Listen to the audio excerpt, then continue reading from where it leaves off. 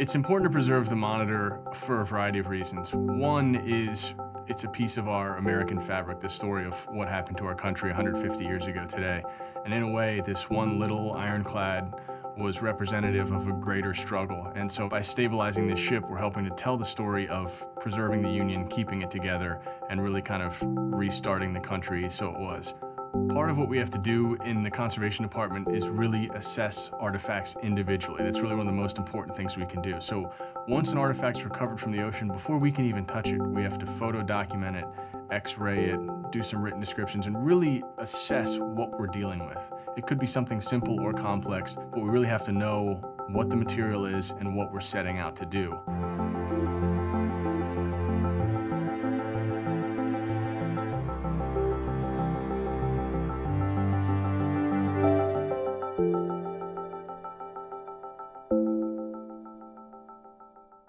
Documentation, in a way, it's both complex and simple.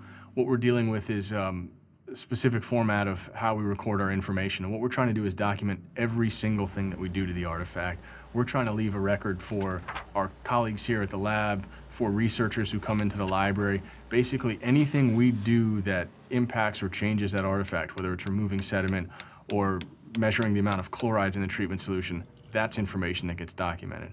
Um, archaeology in its own right is destructive, and so archaeological conservation, in a way, you know, if this mass came up from the ocean covered in a hard sediment and we x-ray it know there's an artifact under that, well, we are modifying that to get to the artifact, so we have to document all of that.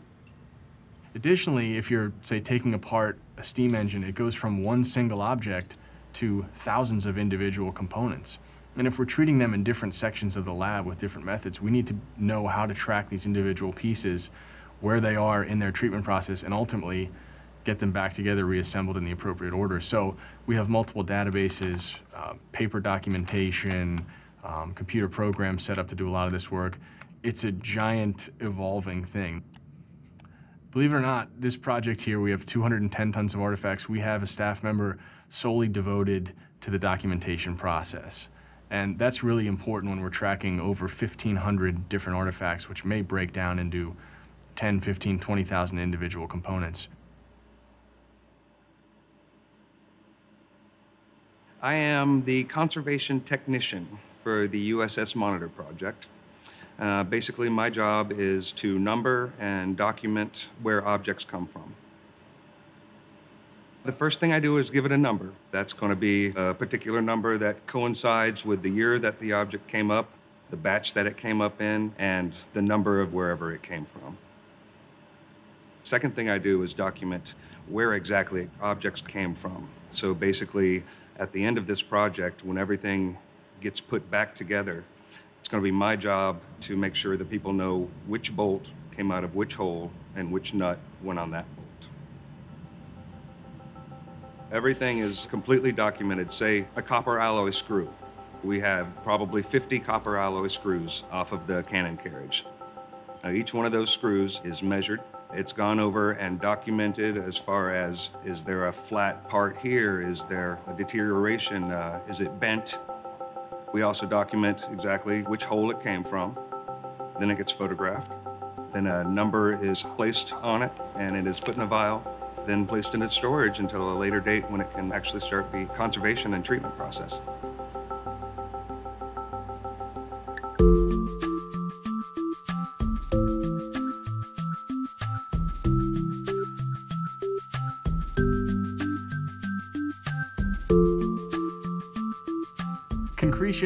Hard matrix of sand and shell and calcium that forms over a lot of artifacts when they're beneath the ocean. So the artifacts recovered from Monitor National Marine Sanctuary were heavily concreted.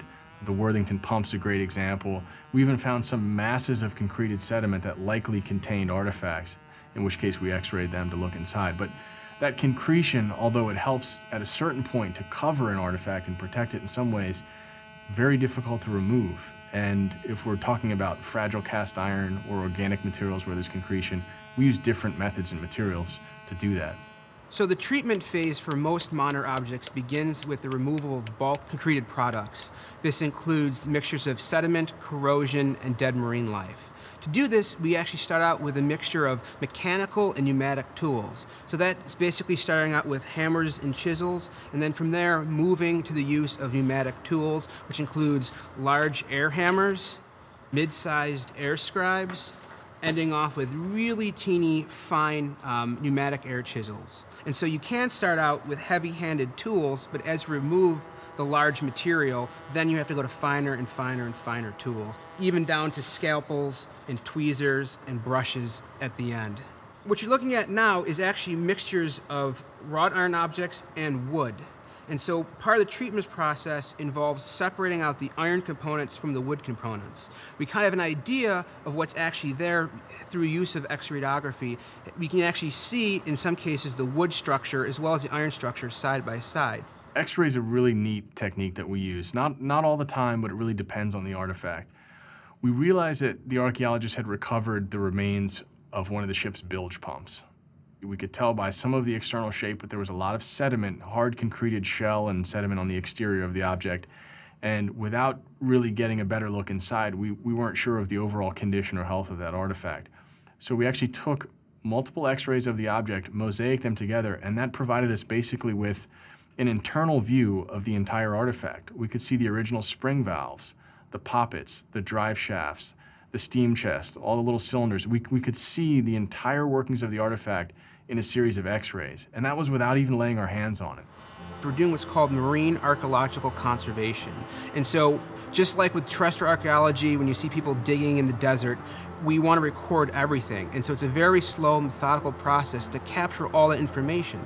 So to some people, this heavy concreted lump means nothing, but to us, it's got a whole story. And part of our goal through even just cleaning with mechanical tools is try to capture every aspect of that story and be able to save it for the public at some point down the line.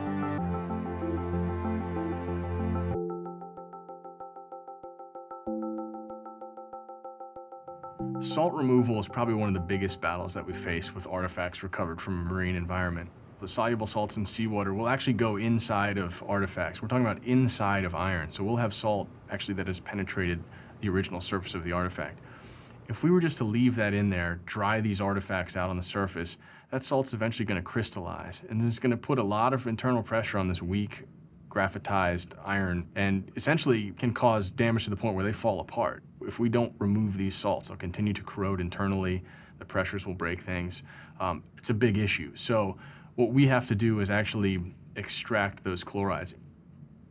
Inside the lab, we have a few different methods to analyze the amount of chlorides within an artifact or within a treatment solution. Currently, we're using ion chromatography, and basically we're able to test in parts per million how many chlorides are in any given solution. So that's our kind of standard method right now. And when we are performing a treatment, we're trying to get less than one part per million chloride in that solution. So extremely, extremely pure. The water that we use in order to make sure that we have good desalination is considerably more pure than tap water. We're producing deionized and reverse osmosis water that has less than one part per million. That way we can be certain that the salts that we find in the solution are coming from the artifact. To better explain desalination, essentially what we'll do is we'll take an artifact after it's been mechanically cleaned and place it in our treatment solution. If you take something from a very salty environment and place it in a very wet freshwater environment, those salts are naturally going to want to migrate out of the artifact into that fresh solution to reach an equilibrium. And believe it or not, in a very short period of time, even a few days, some of those levels of salts will spike up to many thousands of parts per million of salts. I mean, extremely high salinity levels. Once we have chlorides that aren't really getting any higher in that solution, that the level of those aren't increasing, we'll dispose of that solution and place the artifact back into a very fresh solution. So over time, you generate a series of arcs, basically curves, showing you that level of salt. And as you continue to extract salt, less and less is released over time. Change your solution, extract salt, change your solution. And basically, you'll get to a point over time where no more salts are being released. And typically, we're able to get that down to less than one part per million. Some small artifacts like rubber buttons can be desalinated in a week or more, very short amount of time. Um, something like the cannons, which we have, the two 11-inch Dahlgren guns from the Monitor, they're 13 feet long, they weigh eight tons. They're in their 10th year of desalination and they're still releasing chlorides. So without you know knowing a specific equation to track that, which doesn't exist, we're just continuously testing those solutions over time. So anywhere from a few days or weeks to decades, we can speed up the desalination process. Electrolytic reduction is, is a technique that we use in which we run an electrical current directly into the artifact. Sounds like a complex process, but it really isn't. By running a negative electrical current into the artifact, we're able to force out the negatively charged salt ions. And so basically that like charge is forcing the salt out. At the same time, electrolysis uses a series of anodes. Those have a positive charge and they help to attract out the salts. So essentially we are increasing the rate of desalination within our specific treatment solution and that really helps to effectively remove those chlorides.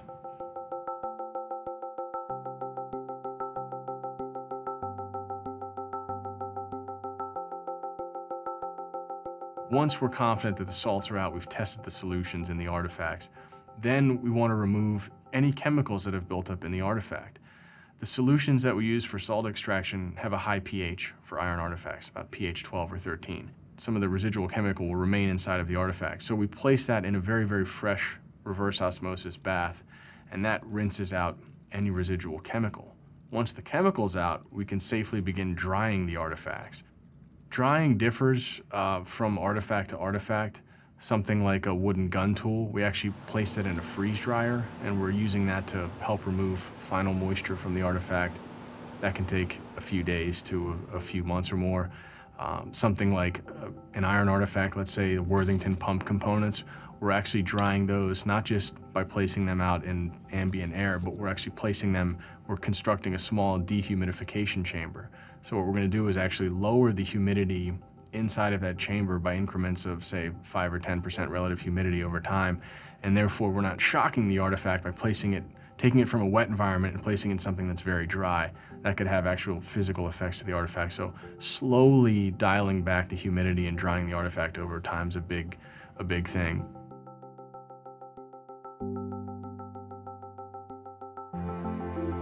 The gallery itself is an evolving thing here at the Mariners Museum.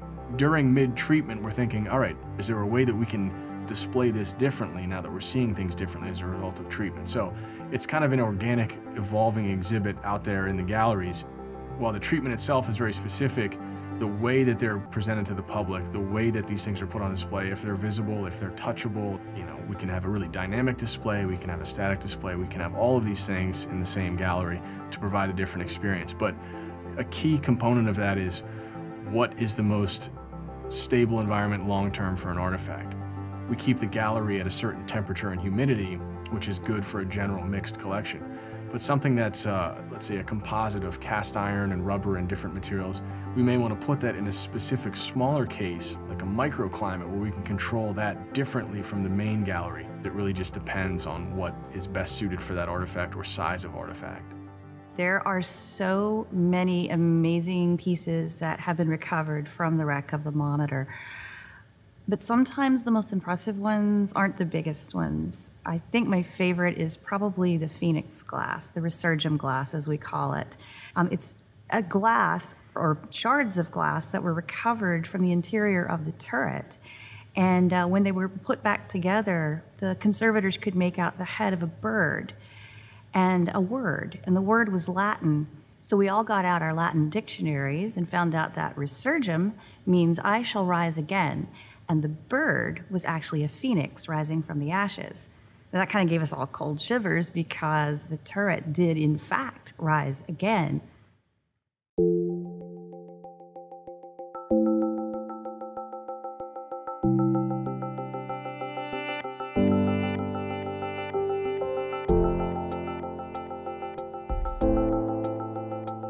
We're hoping to have all these artifacts treated within 20 to 25 years. And it's hard to really pin down an exact time because what we're doing here, you can't just punch in numbers into a simple equation. It's really a matter of, of listening to the artifacts and understanding the chemical processes that are happening. Somebody might say, why the heck should we do this? Why is it important? People don't question putting money or time and effort into stabilizing the Statue of Liberty or the Washington Monument. Um, this is something that helped to preserve the entire country in one of the most dynamic times of war. This is one of the most significant vessels of all time, and we have the opportunity to do something with it, to teach people about it, and we're absolutely doing that.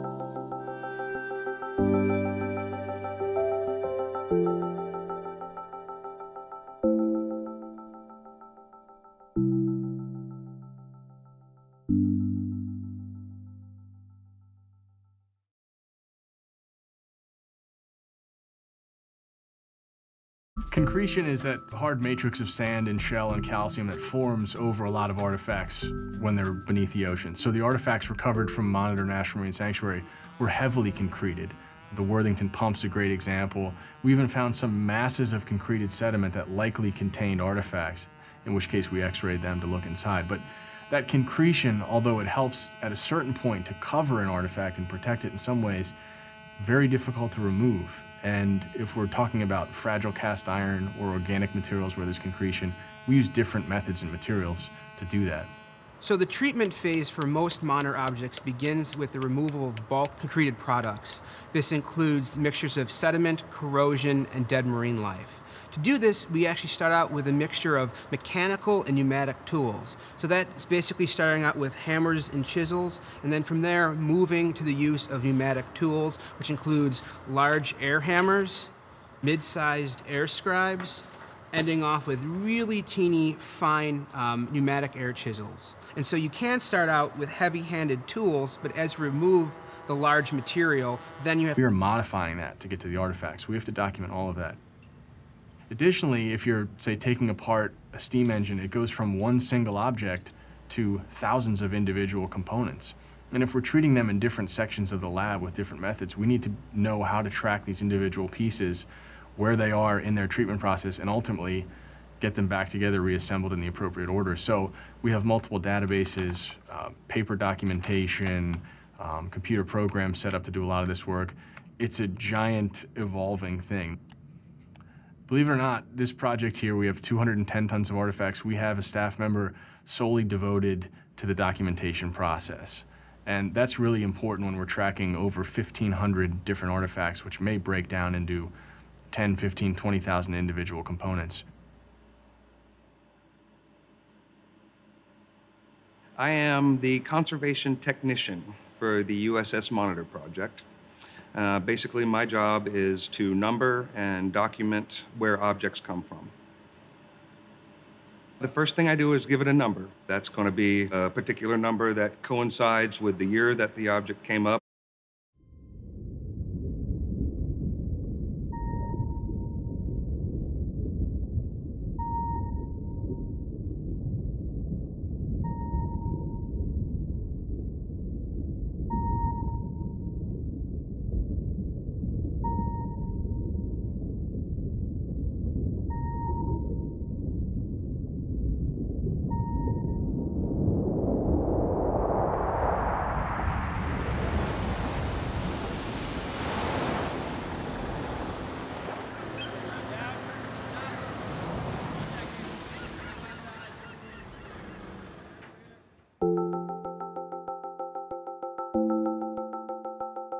It's important to preserve the monitor for a variety of reasons. One is it's a piece of our American fabric, the story of what happened to our country 150 years ago today. And in a way, this one little ironclad was representative of a greater struggle. And so by stabilizing this ship, we're helping to tell the story of preserving the Union, keeping it together, and really kind of restarting the country so it was. Part of what we have to do in the conservation department is really assess the batch that it came up in, and the number of wherever it came from. Second thing I do is document where exactly objects came from. So basically, at the end of this project, when everything gets put back together, it's going to be my job to make sure that people know which bolt came out of which hole and which nut went on that bolt. Everything is completely documented. Say a copper alloy screw we have probably 50 copper alloy screws off of the cannon carriage. Now, each one of those screws is measured. It's gone over and documented as far as is there a flat part here? Is there a deterioration? Uh, is it bent? We also document exactly which hole it came from. Then it gets photographed. Then a number is placed on it and it is put in a vial, then placed in its storage until a later date when it can actually start the conservation and treatment process.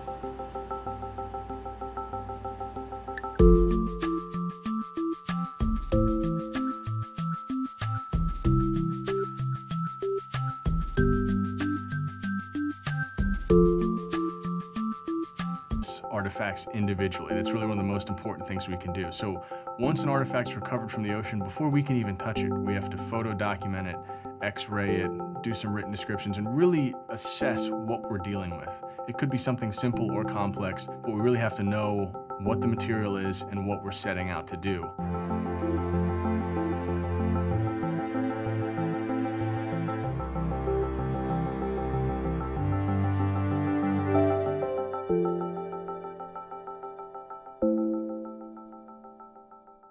Documentation, in a way, it's both complex and simple. What we're dealing with is um, specific format of how we record our information. And what we're trying to do is document every single thing that we do to the artifact. We're trying to leave a record for our colleagues here at the lab, for researchers who come into the library. Basically, anything we do that impacts or changes that artifact, whether it's removing sediment or measuring the amount of chlorides in the treatment solution, that's information that gets documented. Um, archaeology in its own right is destructive, and so archaeological conservation, in a way, you know, if this mass came up from the ocean covered in a hard sediment and we x-ray it, know there's an artifact under that, well, we